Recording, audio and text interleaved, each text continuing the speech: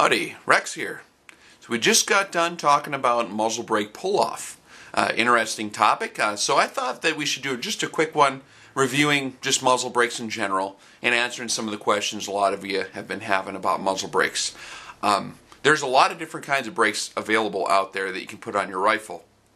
And for the most part, any of the commercially available ones, if installed correctly by a competent gunsmith, are not going to negatively affect your accuracy. And pretty much all of them will effectively reduce the felt recoil that you're going to feel in your shoulder.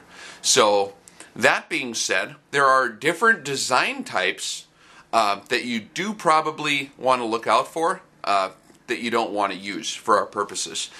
I'm not going to get into brand names so much because a muzzle brake's a very, very simple device. There's not a whole lot to it. You simply have ports or baffles that redirect gas backwards. Um, they're usually going to be made out of steel or something like that. You don't need any fancy steel alloys or anything. Uh, a muzzle brake's a simple device. There's no need to overcomplicate it. Uh, certain design characteristics you do want to look out for. You don't want ports facing downward. For our shooting discipline, we're going to be laying on the ground a lot and uh, shooting prone. And if that's the case out in the field, you're not going to have time sometimes to deploy a wet cloth underneath your muzzle to absorb that uh, that blast so that it doesn't kick dirt in your face. So some of the old style porting that uh, they used to have on the muzzles of rifles that used to be popular uh, before the side ports got more popular is where you have, and I can show a picture of one right here, is you have the holes kind of all the way around, 360 degrees around the, the muzzle. And uh, those effectively reduce recoil fine, but uh, they're going to kick dirt in your face. That's not going to be good. So what you're looking for is a port more like this one here.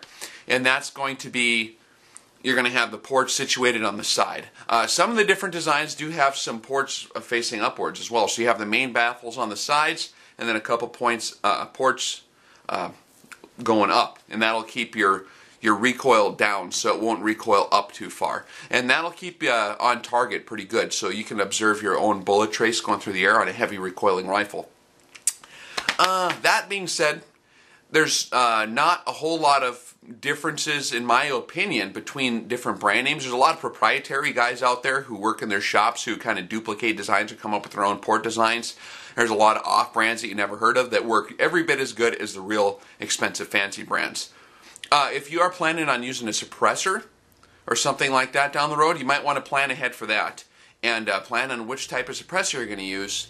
And uh, you can some of the muzzle brakes available. You can uh, they have fast attach features on them so that you can just attach a suppressor over the top of a muzzle brake. And we'll get more into suppressors in uh, in a lot more detail in transitional ballistics right after we finish up uh, with the muzzle velocity variation variation section, which is coming up pretty soon. Um, so if you're going to get a suppressor, maybe look at the Surefire muzzle brakes. That's what I use on my uh, 338. And uh, it's a little more expensive, but it's a very effective muzzle brake, and it does work with the fast attach with the Surefire suppressors. Um, so that's something to keep in mind. Uh, other than that, uh, generally speaking, a lot of guys use muzzle brakes when they don't really need them. In my opinion, I only uh, will suggest using a muzzle brake if it's like absolutely necessary. If the recoils are a real harsh recoil, like when you get in your big magnums that are very very uncomfortable to shoot laying down, then a muzzle brake is the medicine. There's uh, there's better ways to combat recoil, in my opinion. I think the best way to combat recoil is just adding weight on your rifle, just having a heavy rifle setup. That's why a lot of target rifles are just kind of bulky and heavy. That will significantly reduce your recoil. That's probably the best way to do it. And it'll reduce the effects of muzzle brake pull off, which we discussed in the video before this one, which can really throw you off, especially in a big bore rifle. Um, but in a certain, once you get a certain size, like a 338, you really, you really are going to need a muzzle brake to tame that thing down, or it's going to really beat the crap out of you when you're laying there. Um, like a 300 uh, Winchester Magnum, uh, that can be a pretty, if you're going to lay down all day and shoot it, a muzzle brake might be good investment. Just make sure you look for those design features we talked about. You want ports on the side, maybe a couple on the top, and that's fine. Just don't have anything shooting downward into the dirt. Uh, be aware that muzzle brakes do severely increase the noise. So you're going to really have to actually use your hearing protection. You can't forget not to use it one day. It'll blow your ears right out of your head. It'll increase the decibels like 5, 10, 15 decibels depending on the type of muzzle brakes. So that's something to be aware of. Another thing is it'll severely increase the, the felt percussion or concussion coming backwards, eh, especially if you have a spotter. Uh, that's one thing where muzzle brakes can really kind of hinder a, a, a shooter spotter team is your spotter classically situated on your five o'clock, just looking right over your uh, your right shoulder, and uh, uh, ports on on the muzzle brake are usually oriented kind of in that direction, so they can really have a huge increase in felt concussion and, and uh, blast, and that can be extremely uncomfortable. It can even throw a spotter off. So uh, sometimes it can cause the optics to wiggle, and it might you might lose uh, sight of your your bullet trace uh, because if it's wiggling right when the blast hits, uh, it might go out of focus a little bit. So it might cause problems there. So you might have to resituate how you got your spotter laying behind you. You might have to be farther behind you. So keep all those things in mind if you're looking to do a muzzle brake. There's another very, very effective way to reduce recoil that a lot of people aren't familiar with, and it's a Mercury recoil suppressor. And that's not a brand name. There's a lot of different brands that make them, but I'm talking Mercury liquid metal. And they're little tubes, and they have a mercury blob in there and you basically install that inside the buttstock of the rifle, underneath where no one sees it, and uh, you situate it kind of at an angle. And what happens is, on a sharp recoiling rifle, as recoil happens, that mercury mass, that huge mass of mercury, because it's real heavy, uh, has to kind of fight its way through that tube, and that'll absorb a lot of the sharpness of the recoil. It works tremendously well, surprisingly well. And when you get them in the mail, they're just a little stick like this, a little round cylindrical metal stick and you just stick them in the stock there. And a lot of guys are skeptical like they don't work, but actually they're very commonly used on big bore uh, like elephant rifles, big game, dangerous game rifles, and they work very well. Uh, Dinosaur Ichi has a 35 Whelen uh, running around these videos, and it was a pretty solid kicker. It wasn't like super bad. It wasn't real sharp. It was kind of a big, just a big kick. And uh, it was a little bit uncomfortable for him to shoot, but we installed one of those mercury recoil suppressors in there, and that tamed it right down. I mean, it doesn't even kick like a 25 out 6 now, maybe around a 243 somewhere in that area.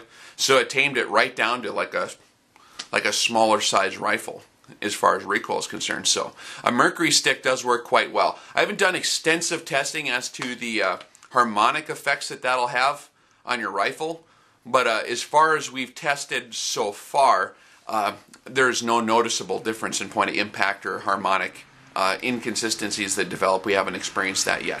So uh, that's one thing that you might want to consider if you have a sharp recoiling rifle, and I'm going to do some further testing on that just to verify that for you guys. But uh, muzzle brakes do work pretty good.